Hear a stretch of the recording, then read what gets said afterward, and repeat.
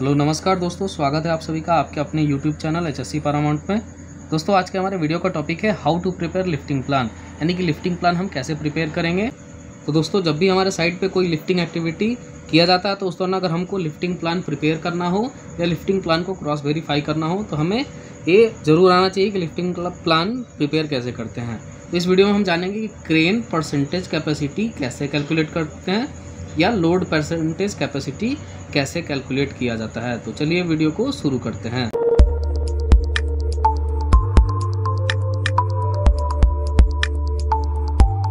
दोस्तों, जैसा कि एक हमने सिनारियो ले लिया, जिसमें जो हमारा मटेरियल है, वो मटेरियल का वेट है बारह टन।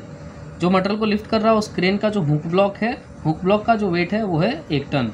उस कंडीशन में जो क्रेन का बूम लेंथ है दोस्तों वो है तेईस मीटर क्रेन का जो दोस्तों रेडियस है वो है नाइन मीटर। हमको इसका क्रेन परसेंटेज कैपेसिटी या लोड परसेंटेज कैपेसिटी कैलकुलेट करना है। हमने सबसे पहले यहाँ पे नोट डाउन कर लिया वेट ऑफ़ द मटेरियल यानी जो हमको मटेरियल को लिफ्ट करना, उस मटेरियल का वेट कितना है तो वो है बारह टन हमने यहाँ पे इसको नोट डाउन कर लिया। नेक्स्ट है weight of the hook block यानी क्रेन का जो हुक ब्लॉक है, उस हुक ब्लॉक का वेट कितना है तो वो है एक टन, उसको भी हमने यहाँ पे नोट डाउन कर लिया। नेक्स्ट है बूम लेंथ यानी क्रेन का जो बूम लेंथ है, उस कंडीशन में कितना है? तो वो है ट्वेंटी थ्री मीटर हमने उसको भी यहाँ पे नोट डाउन कर लिया। नेक्स्ट है रेडियस यानी क्रेन का रेडियस कितना है? वो है नाइन दोस्तों, हम देखेंगे लोड चार्ट और according to the load chart capacity और S W L of crane यानी तेईस मीटर बूम लेंथ और नाइन मीटर रेडियस पे जो क्रेन का कैपेसिटी यानी कि क्रेन का जो S W L safe working load है, वो आ जा रहा है हमारा सत्ताईस टन। तो हम कैलकुलेट करेंगे crane percentage capacity crane percentage capacity का जो फॉर्मूला होता है, वो होता है दोस्तों weight of the material plus weight of the hook block upon S W L into hundred तो इस तरीके से जो हमारा क्रेन परसेंटेज कैपेसिटी कैलकुलेट हो जाता है। जैसे कि हमारा वेट ऑफ़ द मटेरियल है, बारह टन तो हमने यहाँ पे बारह लिख लिया।